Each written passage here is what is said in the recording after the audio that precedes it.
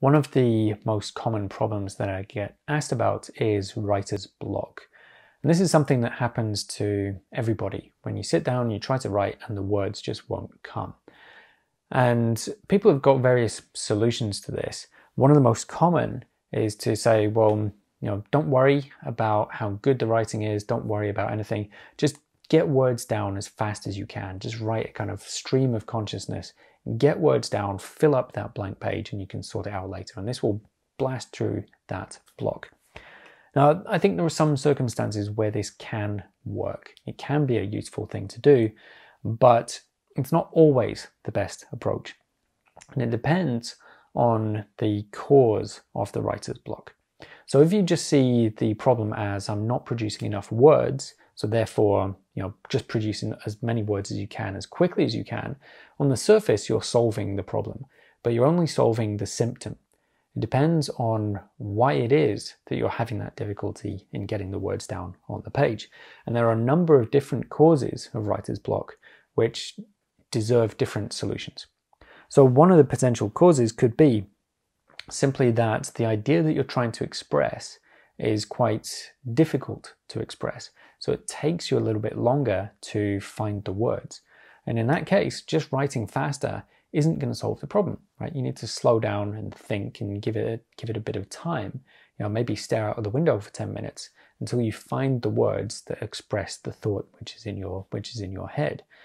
Now, if you get frustrated by the lack of productivity, the lack of measurable productivity during that time, then you're not going to solve the problem, right? You'll get words down on the page, but that thought, that difficult idea, whatever it was, that's going to be lost in that mass of words. You haven't solved the problem. So it's much better in that case to slow down, let yourself write nothing, and you know just play around and try and find um, try and find the right solution.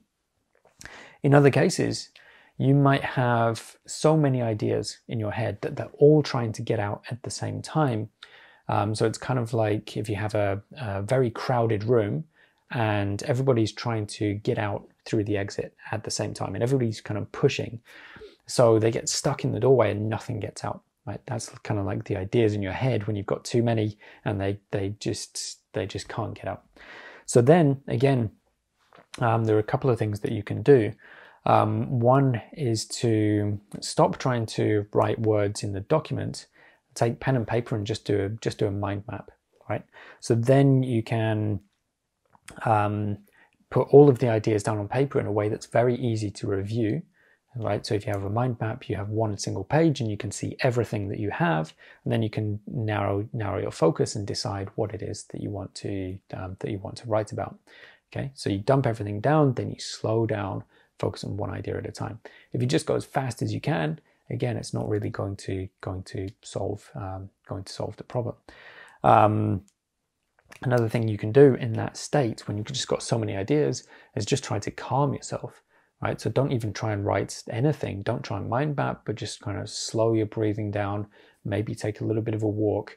You know, just let yourself calm down because often because everything's going around in your head so fast that, that you know that's kind of the cause of the the cause of the block so again the cause determines what solution um, what solution you go for it could be that you're getting writer's block because of fatigue you know maybe you've been sitting and writing for six hours and it's just hard to keep your eyes open or hard to concentrate in that case the solution is to take a break or have a nap or something or something like that just leave it and come back to it. You don't want to be working to exhaustion.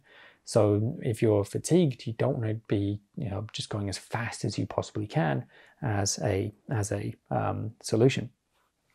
Another potential cause could be a lack of preparation or appropriate preparation. So, for example, if you're writing a, a section about your results and you haven't done the analysis yet, or if you're not confident in the analysis, and what you want to say, then sometimes it's better to go back to your data, run through the analysis again, make sure you've got everything in line, and then you know you can come back. You can come back to the writing. So again, just writing as fast as you can is not an appropriate solution to that.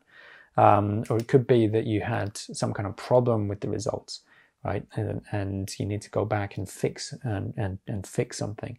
So the writing shouldn't be a priority in that in that instance. You should go back to the data, look at it and then and then and then come back. Or it could be that you're distracted, in which case shutting out distractions, turning off the internet um, is the best is the best way to go. And again, you can slow down, ease into it, settle your mind on a particular idea. Or it could be, um, you know, sort of general um, general stress. In which case, you know, again, bring, trying to bring that level of stress down, um, possibly by taking a walk or doing something else, um, could be an appropriate an appropriate solution. So um, if you're um, suffering from writer's block, you know, try and think of it as a symptom rather than a condition in itself. Try and identify what's really going on. Is there something else that you need to do first? Um, are you just fatigued and you need a break? Is it is it some other problem which is causing the block? And if you can address that, then you'll find um, you'll find a solution.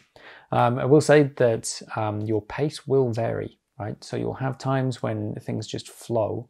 Um, other times it will go it will go slower. That's okay. That happens to everybody. You know, just accept. You know, okay, today it's going a little bit slower. Stay with it. Slow down. Give yourself time. Give yourself the opportunity to to solve the problems that arise, and then your pace will pick, will pick up again. Um, don't stress about it. It's just you know part of the natural the natural um, kind of variation rhythm that everybody everybody has. So um, as always, please do post your comments below and your thoughts and your questions, and I will see you next time.